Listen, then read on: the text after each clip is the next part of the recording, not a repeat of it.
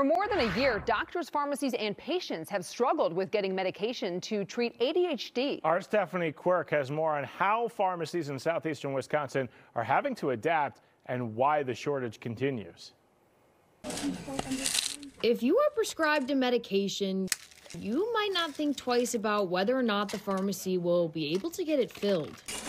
People living with attention deficit disorder don't have that luxury. We get phone calls do you have this in stock? The FDA announced a nationwide shortage of Adderall in October of 2022. It's one of the drugs used to treat people with ADHD. It helps them to focus in school and stuff like that. So um, it really does make a difference. John Phillips with Sage Specialty Pharmacy says even now it's a struggle to find any ADHD medications.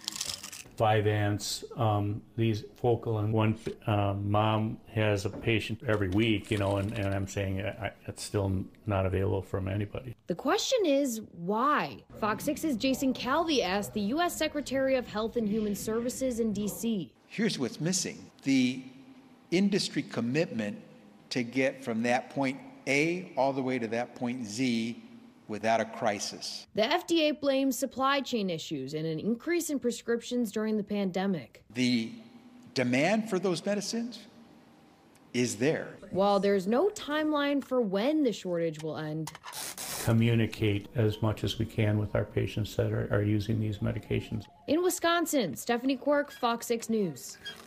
The National Community Pharmacists Association says roughly 87% of pharmacies are reporting shortages of ADHD medications as of this year.